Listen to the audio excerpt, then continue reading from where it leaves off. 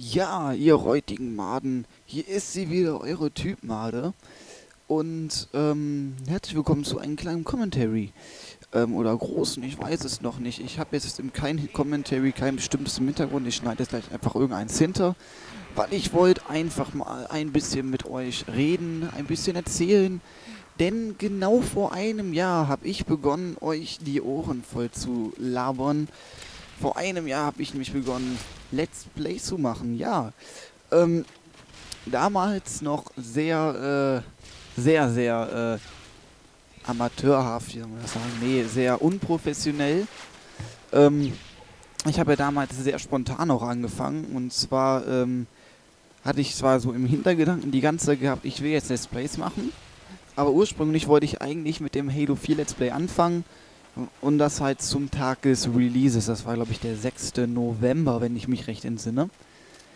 Dann habe ich aber halt mir nach und nach auch so eine HDPVR gekauft und sowas. Und ähm, hatte dann noch bei mir im Regal Halo Combat Evolved Anniversary stehen. Das habe ich einfach reingeschmissen und gesagt, so jetzt komm, nimm einfach auf, mal sehen wie es wird. Ähm, da ich noch nicht viel Erfahrung hatte, habe ich einfach so einzelne Folgen aufgenommen immer. Bin ich immer, wenn ich ähm, locker gegen zwei von der Schule gekommen bin, sofort ähm, an den Rechner gesetzt, an die Xbox äh, aufgenommen und dann mit Glück hatte ich das Video dann gegen 6, 7, vielleicht auch mal 8 Uhr hochgeladen. Also auch von der Upload-Zeit her unregelmäßig und auch wenn ich dann jetzt zum Beispiel mal einen Tag länger Schule hatte oder nicht aufgenommen habe, kam einfach nichts. Ja, dann hatten wir ähm, den 6. November. Ich meine, das war der 6. November. Ähm, und da fing es dann an mit dem Halo 4 Let's Play, was dann das Halo Combat Evolve Anniversary Let's Play komplett ersetzte. Es wurde einfach abgebrochen. Ähm, das kam dann, meine ich, ich weiß es nicht mehr genau, täglich.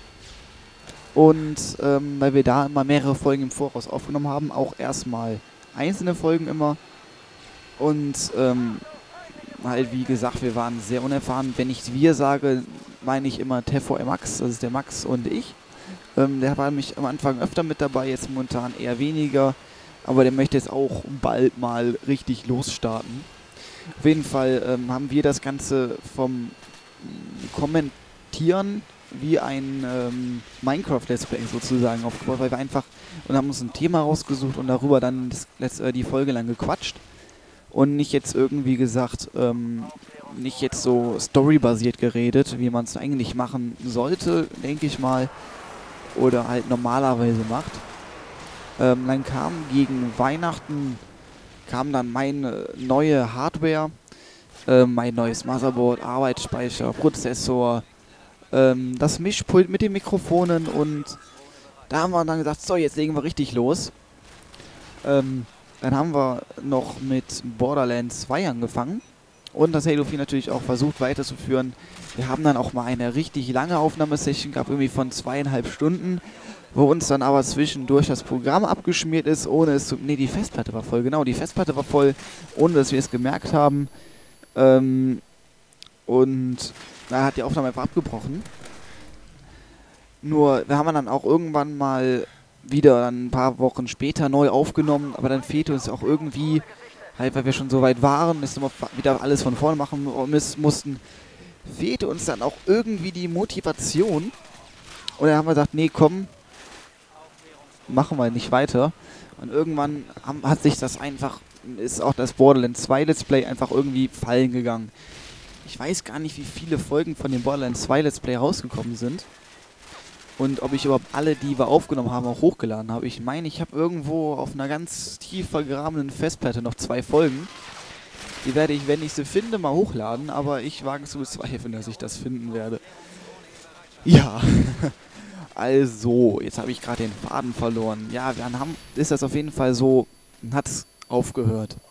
Dann habe ich angefangen mit äh, Let's Plays am Computer. Und zwar mit Minecraft und Harveys neue Augen. Ich meine, die liefen dann auch, haben auch gleichzeitig angefangen oder zuerst Minecraft und dann eine Woche später Harveys neue Augen. Ich bin mir nicht mehr sicher. Auf jeden Fall ähm, haben das Minecraft Let's Play am Anfang wenn ich mir das jetzt so angucke, da denke ich echt, was hast du da gemacht? Also wenn ich mir so, ja, der Kommentarstil war damals noch sehr, auch in den ersten Folgen hier vom Halo, Combat Evolved Anniversary, der Kommentarstil war da so ein wenig, ja, grenzwertig. Aber, tja. Ja, auf jeden Fall ähm, ist mir dann irgendwie ab Folge 7 oder so, ähm, habe ich versehentlich, weil ich äh, eine Mods installieren wollte, ähm, ist mir dann die Welt abhanden gekommen, soweit ich weiß. Oder ist deswegen abgeschmiert? Ich weiß es nicht mehr. Ist schon so lange her. Das ist ja schon mit circa ein Dreivierteljahr her. Ähm, und dann habe ich halt eine neue Welt angefangen und ja, das ist dann auch die Welt übrigens, wo wir jetzt sind. Für die Leute, die erst so in den letzten Wochen, Monaten oder so dazu kamen. Ähm, da wollte ich halt auch mal was zu sagen. Ähm, ja, auf jeden Fall habe ich mich dann auch zu der Zeit, haben mich dann den, hat Megaron mich angeschrieben. Ähm, und äh, dann haben, so kamen wir halt auch in, diesen, in den Kontakt. Er hat mich angeschrieben, hier, hey, guck mal, was machst du so, das mache ich und so. Da haben wir hin und her geschrieben. Und ähm, haben wir auch irgendwann halt gesagt, komm, wir müssen mal was zusammen machen. Und seitdem nehmen wir öfters mal zusammen auf, skypen eigentlich, ach wir skypen fast jeden Tag, das ist jetzt aber eigentlich nicht relevant hier. Ähm, auf jeden Fall habe ich da mal ihm mal mitgemacht, er bei mir.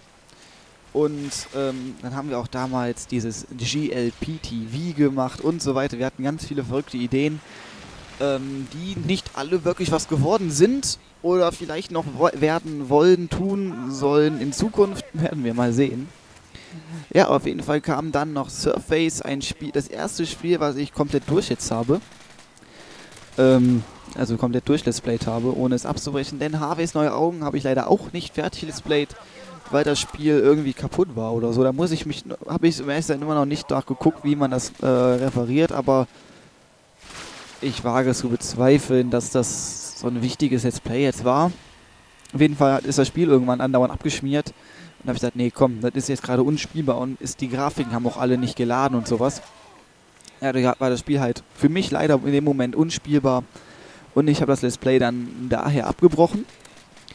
Ähm, dann habe ich, meine ich, zu dem Zeitpunkt das Splinter Cell Conviction Let's Play angefangen, was ich leider noch nicht fertig habe, aber das will ich auch erst weiterspielen, sobald meine komplette neue Hardware da ist, weil das ruckelt und ist eine scheiß Auflösung und ist ekelig und ich hoffe, ihr versteht mich da. Also auf jeden Fall ähm, ging es dann auch so langsam los. Ich glaube, zu dem Zeitpunkt, als ich mit dem Garon Kontakt hatte, hatte ich so ca. 30 Abonnenten. Und er, meine ich, ich glaube, ca. 200. Kann das sein? Ich weiß es nicht. Ist aber auch egal.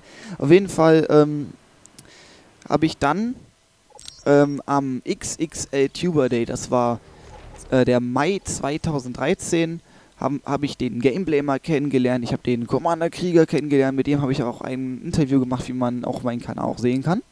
Ähm, dann habe ich noch mit, in, mit dem Bandit gequatscht. Ich habe die ähm, Jody von Any Art LP kennengelernt. Ich habe noch dann die ganzen YouTuber hier, ähm, Scene TV habe ich äh, mitgequatscht. Ich habe mit dem, ähm, wie heißt er? Mr. Trashback habe ich eine Runde geplaudert. Ganz coole Leute, richtig chillig drauf. Ähm, und wie heißt es? Ja, auf jeden Fall mit dem Gameblamer habe hab ich dann auch, war ich auch dazu dann auch in einem Live-Hangout, welcher mir dann auch wieder ein paar Abonnenten beschert hat, so nebenbei erwähnt. Ähm, und ja.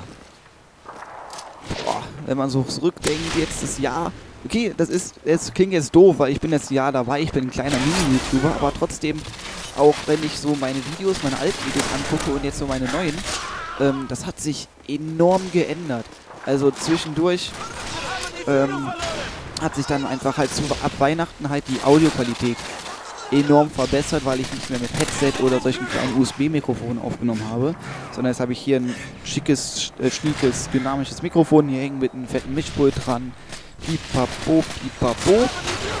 Und ähm, dann hat sich halt auch dann immer mehr so meine, ähm, visu meine visuelle, meine Videoqualität auch verbessert. Ich habe erst ähm, 720p immer aufgenommen.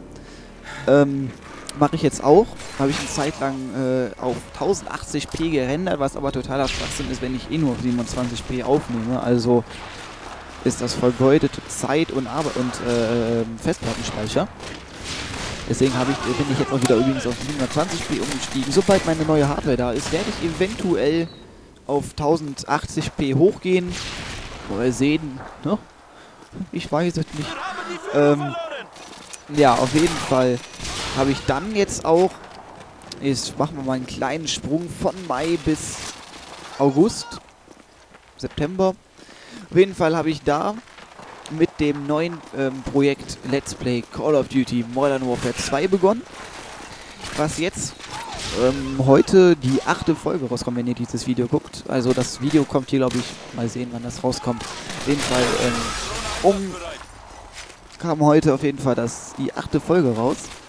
Und ähm, Nee, parallel dazu lasse ich, habe ich jetzt auch noch ein ähm, Call of Duty Modern Warfare 2 No Add-ons Projekt, wo ich zeige, ähm, dass man jede Waffe, die man neu freischaltet, halt auch ohne Add-on spielen kann. Das, weil sich viele auch immer beschweren, du hast da ja dies und das drauf, du bist ja jetzt viel besser und das ist ja voll unfair. Nein, man kann mit jeder Waffe gleich gut spielen. So, ähm, und das habe ich auch die, diese Idee, die habe ich damals, damals vor das ist jetzt nicht mehr so, nicht allzu lange her, ähm, hatte ich das bekommen vom Jim Pansen. Ähm, der hat das, der macht sowas mit Battlefield 3. Und der hat gesagt, hier, ihr könnt das gerne übernehmen, ihr könnt auch gerne ändern, nur schreibt bitte rein, dass ihr das über mich gefunden habt, dass ihr die Idee hier von mir entstammt. Habe ich ja gerne gemacht und ich habe ihm das Video auch zugesendet. Einfach so, habe ich gedacht, er kann sich das mal angucken, vielleicht gibt er ja sogar einen Daumen hoch. Was ich dann äh, zu meiner Riesenfreude gesehen habe, ist, dass er das Video nicht nur geliked hat, sondern auch auf Facebook geteilt. Und ähm, ja, super, fand ich richtig geil. Das hat mir auch immensen Views, hat das Video, was ist das Video mit meinen meisten Views mit 470 Views oder so hat das Video jetzt. Ähm, ja, auf jeden Fall ist das immens. Das hat mich enorm gefreut. Ich habe ähm, 450, Entschuldigung. Ich habe äh, Freudensprünge gemacht und habe mir dann bei der zweiten Folge gedacht, ja, warum denn nicht? Schickst es ihm einfach nochmal. Also die neue Folge dann. Da hat er mir geschrieben, yo, ich habe den Like auf, auf, auf, auf, auf YouTube gegeben und das Video hat jetzt auch schon ca. 250 Views. Und das hat mir auch immens am Abonnenten, neue Abonnenten, neue aktive Abonnenten, die haben alle kommentiert, auch ein paar haben dann den anderen, haben sich noch andere Videos direkt angeguckt, ähm, andere Commentaries, andere Let's Plays und auch fleißig kommentiert und ähm, so weiter. Auf jeden Fall sind wir jetzt ungefähr in der Gegenwart angelangt und ähm, wir haben jetzt momentan, wenn ich mir mal meine Statistik angucke, innerhalb von einem Jahr, was wir erreicht haben. Was haben wir denn erreicht? Das muss ich mir mal angucken. Wir haben innerhalb von einem Jahr jetzt erreicht... Ja, Moment, der Lied. Ähm, super, wo wird das denn was angezeigt? Ähm, ja, auf jeden Fall... Ach ja, hier. Entschuldigung. Kann ja mal vorkommen. Wir haben jetzt in einem, innerhalb von einem Jahr erreicht über 120 Abonnenten und ca. 5500 Views. Und ich finde, das ist eigentlich ganz ansehnlich. Und ähm, ja, für das nächste Jahr, für das kommende Jahr der Let's Play-Geschichte vom Typ Made. Was geht das? Scheiße. Ähm, wenn ich mir was wünschen darf, sind es ähm, nicht unbedingt viele Abonnenten, am besten wäre so, wenn wir in den nächsten Jahren schon ein paar mehr, paar mehr Abonnenten kriegen. Schon so einige mehr wäre richtig klasse. Aber am geilsten wäre es, wenn die richtig gut aktiv sind. Weil ich habe, wenn ich gucke, ähm, unter einem Video bei, bei 100, über 120 Abonnenten und ich habe dann in einem Video ca. 20, 30 Views, ist das nicht viel. Wenn ich dann nur so ein Viertel der Abonnenten an Views habe und zwei Likes höchstens und wenn es hochkommt, mal einen Kommentar. Also was ich mir wünsche, sind so wirklich aktive Abonnenten. Ähm, so, also ich habe schon eine Handvoll aktiver Abonnenten, wenn ich will sehen. Hier den Marco Feldhammer, Jeffrey Hochschild angucke. Oberzeron hat auch öfters mal Kommentare geschrieben. Der Garon schreibt ab und zu mal Kommentare. Also ich habe schon aktivere Leute mit drinne. Wenn ich jetzt hier übrigens gerade einen vergessen habe von euch, dann tut mir das leid. Ich habe mir jetzt die Liste oder so nicht aufgenommen. Ich bin jetzt hier einfach Freestyle am Rumlabern.